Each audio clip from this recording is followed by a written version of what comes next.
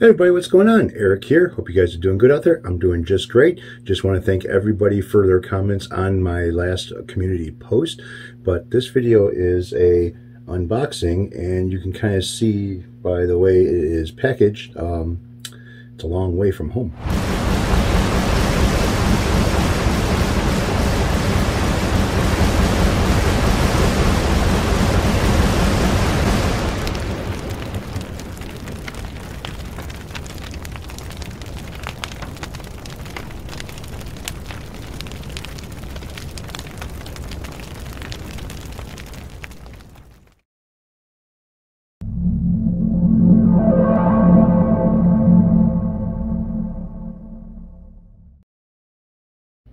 Alright, so this is a long way from home, and as you could tell with the packaging, you know, you kind of guess where it came from.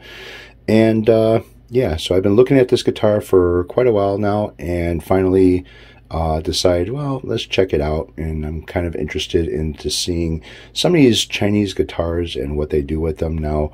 Um, these guys do customs, and this is supposed to be a custom, and it is a replica of one of the kind of famous guitars that, uh, uh, well, let's just open it up. Yeah, because kind of see right now that it's basically a Les Paul. So let's go ahead and get it out of its packaging over here. All right, so what we have here is a replica of the Slash Les Paul Snake Pit guitar. And I do have to say that, you know, it is, uh, yeah, it's trying to be a replica. Close, but really no cookie. Color's a little bit off, I could tell you that much. Um, this is more of a red than the actual original.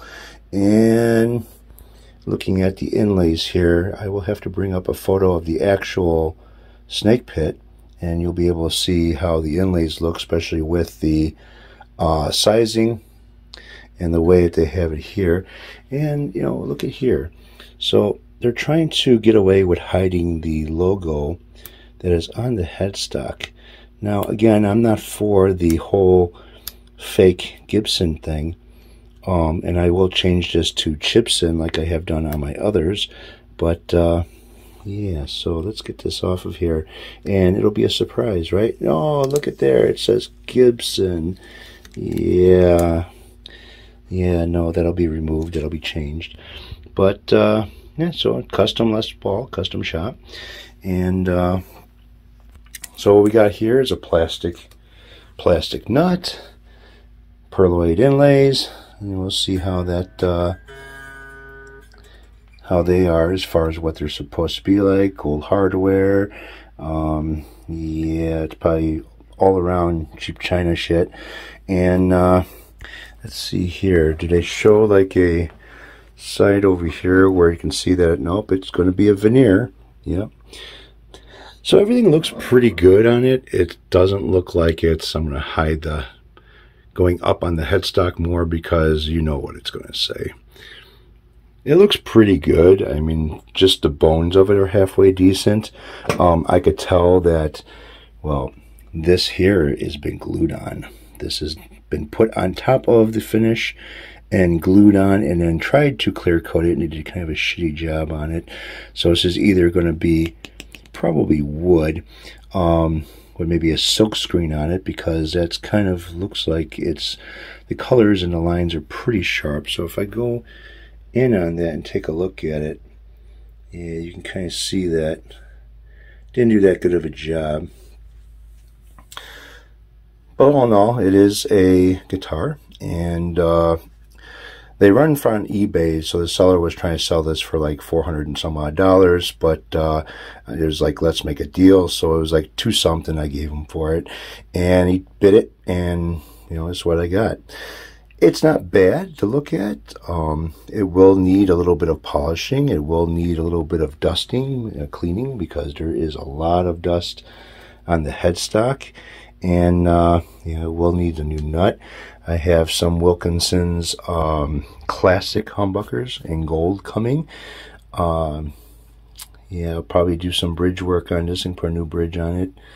I don't know, I'm not going to turn it too far off of what it's supposed to look like as far as being a uh, Les Paul that was, you know, one of Slash's.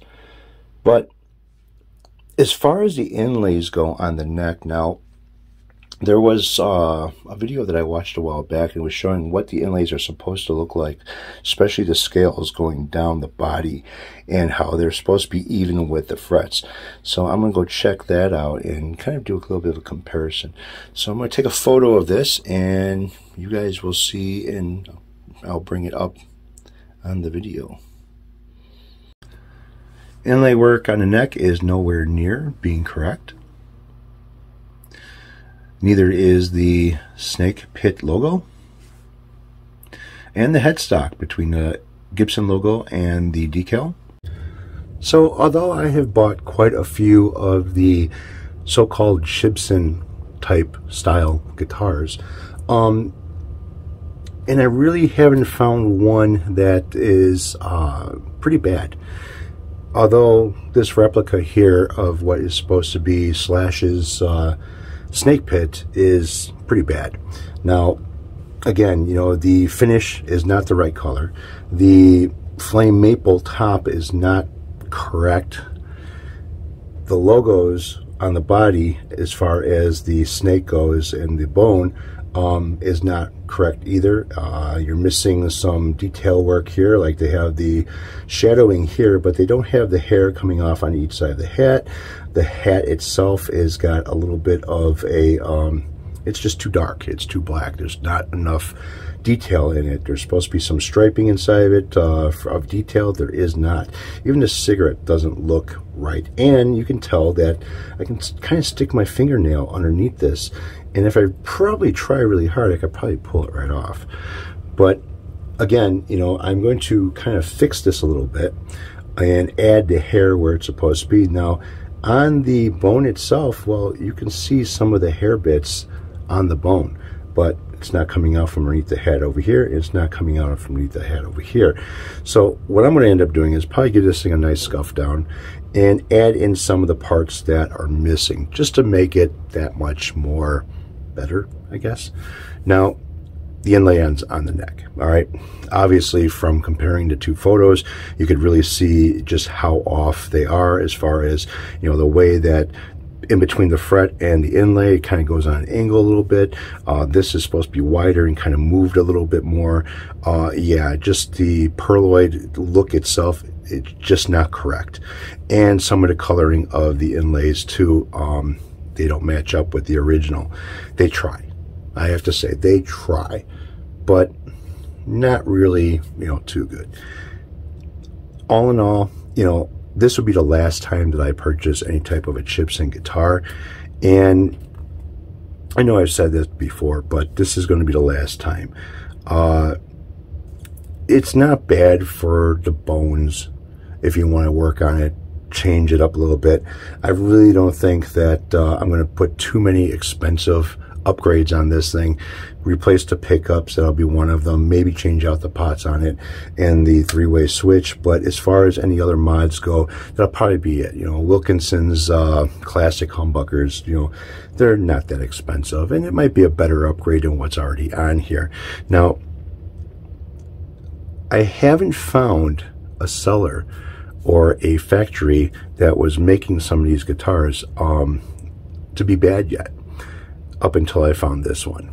Now, from the headstock down, yeah, there's some issues with it, but those issues can be corrected, and other than the inlays on the neck, um, and the bones aren't too bad, okay? The inlay looks pretty good. It ain't right, but it looks good. It's not too bad. The headstock, on the other hand, is where this guitar is kind of like screwed up. I wouldn't say screwed up to where it's unplayable, but screwed up in a way where it's not right. And it's not the next fault. I already checked that. All right, so as you can see here, I'm looking at a uh, bubble level, all right, and she is she is level. I mean, it's right. The bubble is right where it's supposed to be. I removed the nut and checked out the surface underneath the nut, and it's pretty flat. It's pretty pretty straightforward. Here's where the kicker is. And I don't know if you can kind of tell it just by looking over here or not. But if I take this and I put this on the neck right there, you see where that bubble went to. That bubble disappeared. The headstock has got a little bit of a twist to it. And it's because these are put on a belt sander when they're sanding them down. And it's not like um, they have that much control over um, the way that they're sanding this. So when they ended up sanding this headstock to get that angle of, on it, uh, they were more heavy on one side than they were on the other as far as uh, putting pressure on this thing. And you can kind of tell a little bit by looking at it. So if I take this guitar and I hold it up like this, and you can kind of see this side here where my thumb is, is kind of drooping a little bit on the downside. Yeah, so it's not going to make the guitar unplayable or impossible to set up. You know, when I do the nut work, I'm going to have to slope it down a little bit more so the string doesn't bind in the nut at all. But uh, other than that, I guess it's all right. It's not great, but again, it's not bad. And you get what you pay for. You know, you pay for something that is a cheap Chinese replica. And again, you know, that's what you get. Something cheap, something Chinese, and crap. So that's a little bit of this guitar and some of the goods and bads about it. Um, this will probably be, it will be a player. I will make it into a player. But uh, it's also going to be kind of maybe a show or show piece or whatnot. This here, I'm going to fix it and get it to where it's supposed to be. And uh, I will re-clear coat this whole top. Um, I don't think I'm going to do any epoxy resin because this is kind of built up. You know, it's, it's got a lip to it, so or kind of like a high side thing. So I'm not going to sit there and uh, fill it in because if I fill it in with the epoxy, all this that's open is also going to fill in too, and I don't want that. But I am going to fix it. And these guys are dirty as fuck. I mean, this, this thing has got dust all over the place.